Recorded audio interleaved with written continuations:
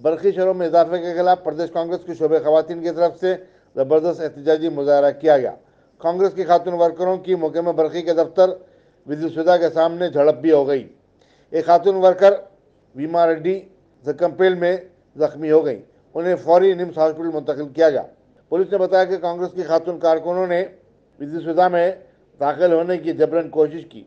जिसे नाकाम बना दिया गया టింగ్ చేపించడం అని నేర్పండి లేకపోతే వాళ్ళని రానివ్వకండి అంతేగాని ఎవరికైతే ప్రాపర్ ట్రైనింగ్ ఇస్తారో వాళ్ళని పంపండి కానీ ఈ విధంగా మా మహిళా కాంగ్రెస్ సోదరు మనలందరినీ కూడా ఈ రోజు ఇబ్బంది పెట్టినది చాలా దురదృష్టకరం ఇప్పటికి మూడు గంటలైంది తన కళ్ళు తెరట్లేదు చిన్న చిన్న పిల్లలు ఉన్నారు దీనికి ఎవరు బాధ్యత వహిస్తారు కమిషనర్ బాధ్యత వహిస్తారా డీజీపీ బాధ్యత వహిస్తారా చెప్పండి ఈ రోజు పేద ప్రజలందరూ సస్తున్నారని మేము ధర్నా చేస్తే మీరు ఈ విధంగా మమ్మల్ని అణి- అణిచివేయడము బడాబాబుల కొత్తాసు వాడడం ఇంతవరకు కరెక్ట్ అని అడుగుతున్నాను మహిళా కాంగ్రెస్గా దయచేసి మీరందరూ కూడా ఇక మీదట ప్రాపర్గా వాళ్ళకందరికీ ట్రైనింగ్ ఇచ్చి పంపమని చెప్పి కూడా కోరుతున్నాను. Thank you very much